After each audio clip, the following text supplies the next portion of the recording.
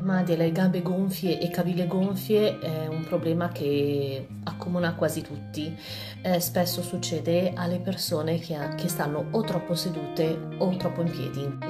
Anche questo fa fatica, aut- automaticamente la pressione venosa mh, mm, arriva diciamo al massimo dove c'è la caviglia e quindi questo inizia a far aumentare il gonfiore alla caviglia e di conseguenza le gambe liquidi non riescono a drenare in maniera corretta attraverso il sistema linfatico si provoca appunto l'edema.